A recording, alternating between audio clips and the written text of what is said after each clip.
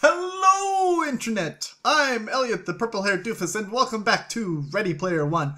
We're covering three chapters today, so let's uh, blast right through this. Why three chapters? Because I am so close to finishing this book. You're gonna see me in this shirt for last video, this video, and next video too.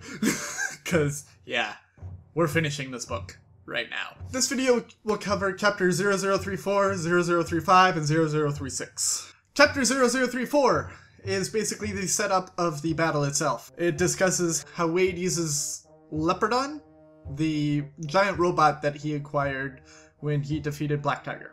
After he's finished describing Leopardon and starting to go into the actual battlefield, he starts pining after Artemis again, and I'm just kind of want to slap him and say, you know, get in the game. Ice on the prize, buddy. He sees a lot of ships trying to go through the barrier before noon, and they're all just zapping away like flies on a bug zapper. That is literally how it's described in the book, and I thought it was such a, a, vivid scene that I kept it in there. It starts discussing all of the other giant robots that everyone else chose when they defeated the Black Tiger, and it references a whole bunch of giant robot anime that I do not know about. Uh, so I'm not even going to try and name them because I have no idea what they're about. If you do and you want to mention that in the comments, that's great. If you want to tell me that I should have watched those, that's great too, because I'm just starting to get into anime. They take all their giant robots and they're surrounding the castle Anorak with the orb-like shield around it. And Sorrento walks out. And as soon as he walks out, I get the instant thought in my head that he has that bomb that kills everything on a planet, and he's gonna use it right now, where everyone's around him. And I'm just like, shit, don't do it! Don't do it, Sorrento. You're better than this. No, you're not, but still, I want you to be better than this. He pulls out his giant robot thing, and he calls it to action, and it's the Mecha Godzilla, which is nearly indestructible. And as soon as he activates Mecha Godzilla, it gets to be about three minutes until noon. It describes Wade's plan to take down the orb shield, going into action with one of the droids actually going in and enacting his plan that he programmed into the droid. And then it goes on to chapter 0035. Noon hits, the shield goes down, and Wade thinks that maybe 10% of the Gunters are going to attack. What he doesn't account for is when all of the Gunters attack.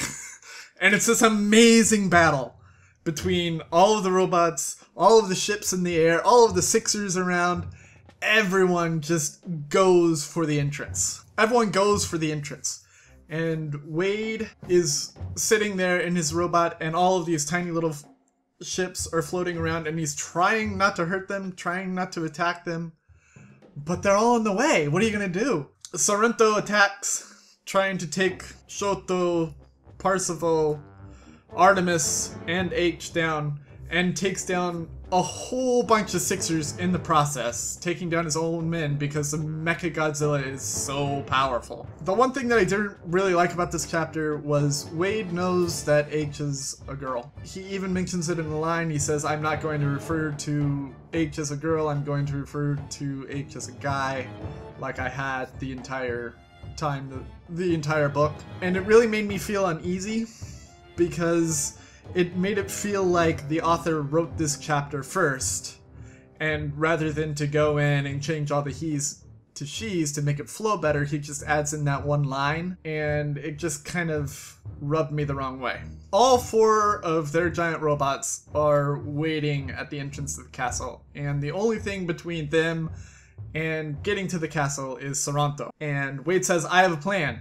I'll distract Sorrento while you three go into the castle. Then you can open up the gate. And Shoto says that's a brilliant plan, and he attacks the Mecha Godzilla while uh, H, Parzival, and Artemis all go in while Shoto's attacking. And then I find out that it wasn't Shoto's plan to merely distract Sorrento. He was exacting his revenge that he told Parzival was his quest once Daito died. And I'm like, yes, Shoto, go for your quest.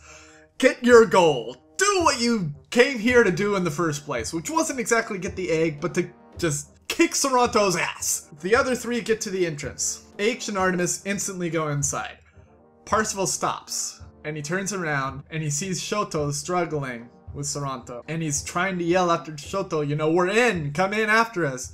And Shoto's just like, no, no, no, you you go in, I'll, I'll be in soon. Shoto takes these giant swords and he slices into the Mecha Godzilla.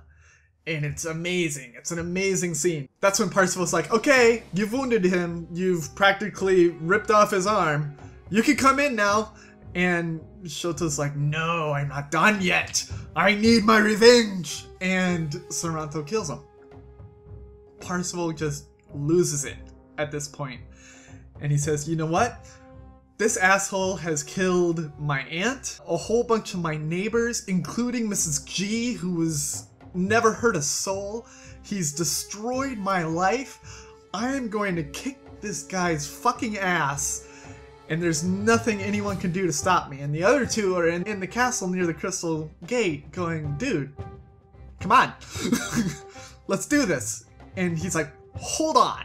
Parzival goes after the Mechagodzilla, and the Mechagodzilla destroys his ship. And so it's just his tiny little avatar standing there at the entrance of Castle Anorak. So he pulls out his beta capsule and he becomes Ultraman to take down the Mechagodzilla. The other two are still at the Crystal Gate going, come on dude, what's the holdup? Parzival just rips in to the Mecha Godzilla, tosses him onto his back, and Sorrento does his whole escape pod thing, which is just the Mecha Godzilla head floating away, and Parzival uses the Ultraman cross to shoot down the, the head, and he sees Sorrento's ID number erase off of the scoreboard, meaning that he has been removed from the game and it's an amazing scene. And then he shrinks back down to avatar size and goes to the crystal gate. The three there are sitting there wondering exactly how they are supposed to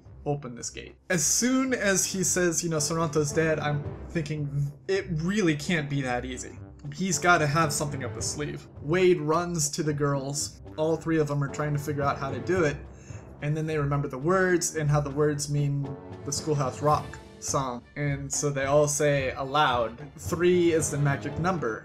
And the one lock turns into three locks. And they each take their crystal keys and they insert it and unlock the door. And it opens up to this beautiful crystal gate. And they're about to walk through the door when there's this blinding white flash and they die. That's how 0035 ends. 0036 begins with Wade waking up to the words, You have an extra life!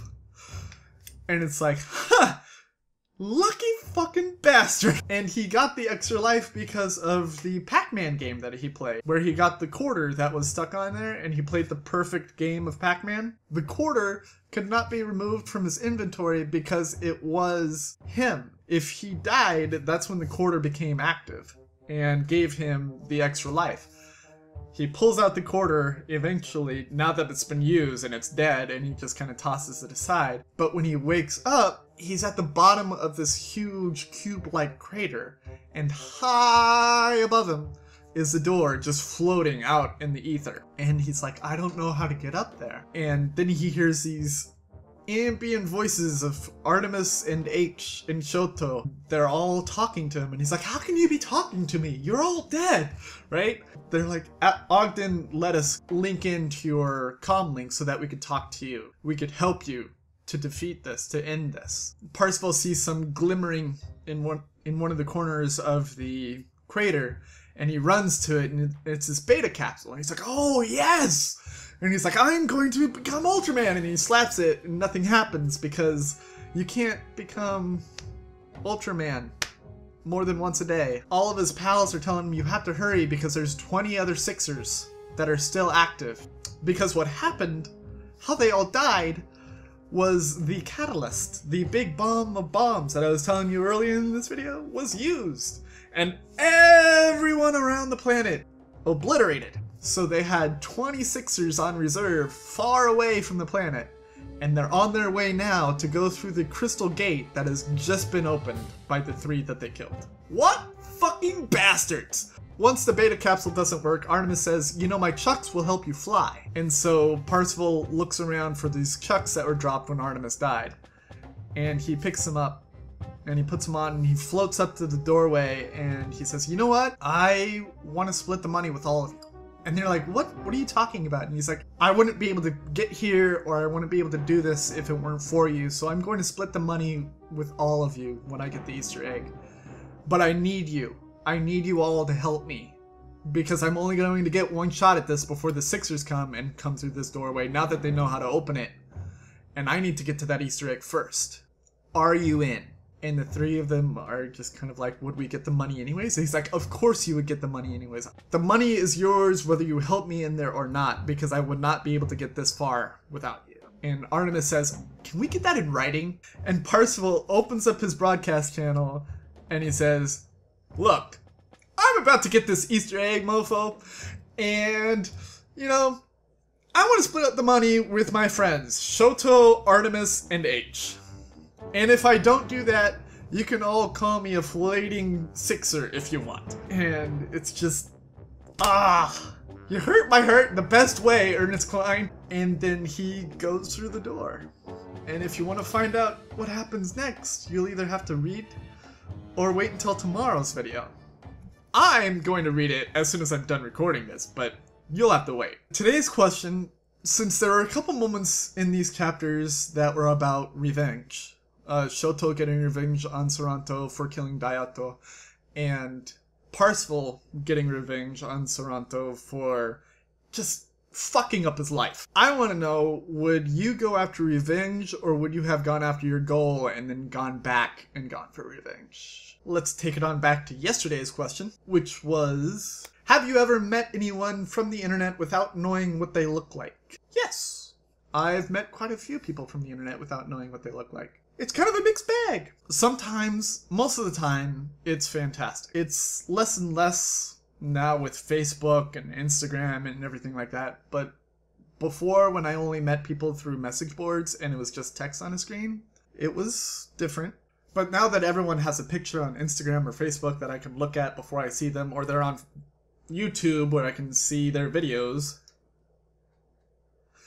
it's not the same. I don't have to worry about that anymore. But I believe I've rambled on enough, and plus, I really, really want to, really want to get back to those final three chapters. And I will be reviewing all three of them tomorrow. Do not forget that next week we begin our new book, The Seventh Bride by T. Kingfisher. Go out, grab it by any legal means necessary, borrow it from a friend, rent it from a library, buy it at a bookstore. Just do it so that you can read it with me read it before I spoil it, or do whatever you want to do with it before I ruin everything for you. I have been the Purple Haired Doofus reminding you to watch your Pajama Radius, and I will see you all in the final chapters of Ready Player One. Toodles!